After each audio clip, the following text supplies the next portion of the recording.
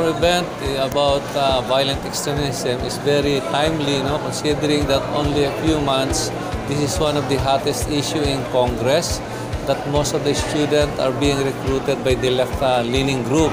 Uh, in our school, our students are uh, potentials ha, to be recruited.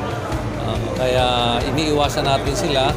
We want them to be aware and knowledgeable about the concept of uh, terrorism. Hopefully, this can have a great effect sa mga students natin na maging aware sila. Especially most of our students are using the social media.